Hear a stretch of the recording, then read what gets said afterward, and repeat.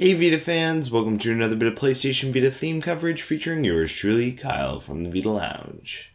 This time around we'll be taking a look at the Four Seasons theme for PlayStation Vita, which comes with a lock screen, four background images, a full set of icons, minus the PlayStation Store and Welcome Park of course, and some themed background music. As for the price, this theme is currently free in all regions it's available in, so it won't hurt if you give it a go. That's enough of an introduction though, so let's take the tour. First up is the lock screen, which has been up since the start of this video.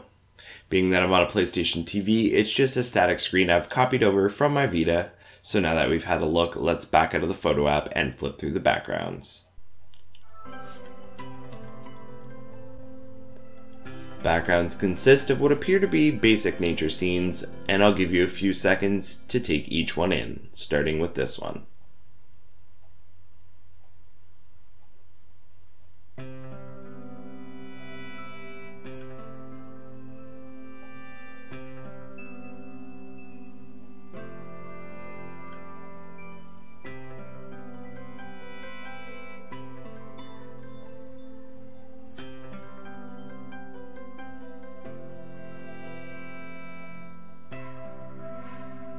Moving on, there's also icon skins, so back to the top we go.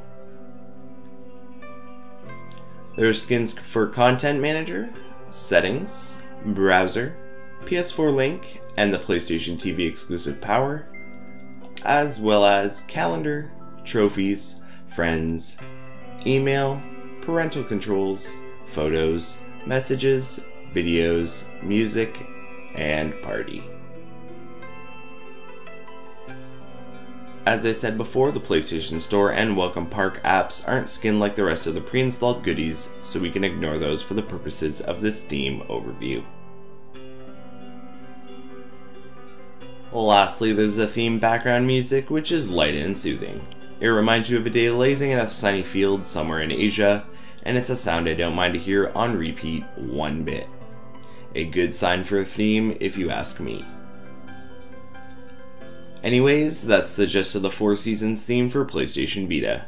It can easily be found on the web store by searching Four Seasons, and it's currently set as free in all regions. If you're looking for a crisp and uplifting theme to accompany your gaming sessions, then this might just be it. I'm Kyle, and this is the Vita Lounge's Lounge Play YouTube channel. Thanks for watching, don't forget to like, subscribe, and comment if this video was at all helpful, and I'll see you all next time.